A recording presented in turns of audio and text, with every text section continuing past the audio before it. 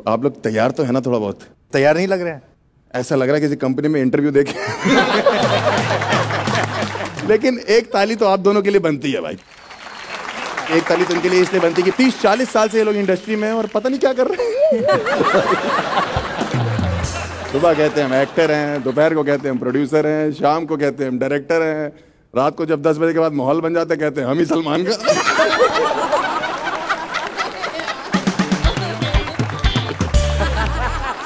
Body body बना रखी सोहेल भाई ने, यार, डर तो लगता ही है थोड़ा सा ऐसा नहीं लगता जिम में जाते डंबल खा जाते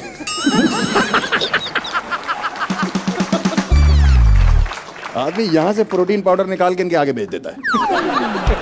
मेरे पिताजी आपके अरबाज भाई बहुत बड़े फ़ैन हैं। कहते हैं, अरबाज भाई से कुछ सीखो आप। मैंने कहा, क्या सीखना कह रहे उन्होंने शादी कर ली, आप भी कर लो। तो मैंने कहा, पापा, उन्होंने जिस उम्र में करी है, आपको सीखना चाहिए। अगर घर में तीन बड़े भाई हो ना वो एक स्तंभ की तरह नहीं होते भाई। आपको भी लगता होगा घर में तीन भाई हैं सलमान भाई हैं सोहेल भाई हैं अरबाज भाई हैं। आप लोग एक दूसरे का सपोर्ट बनते हैं एक दूसरे का साथ देते हैं एक दूसरे के काम करने हैं वो निपटा देते हैं। जैसे सलमान भाई इनके हिस्सों की पिक्चरें करे जा रहे हैं। और अरबाज भाई उनके हिस्से की शादियाँ निपटा उड़ती हुई तीर लेने का बहुत शौक है। मुझे तो ऐसा लग रहा है मैंने उड़ते हुए दो तीर ले लिए।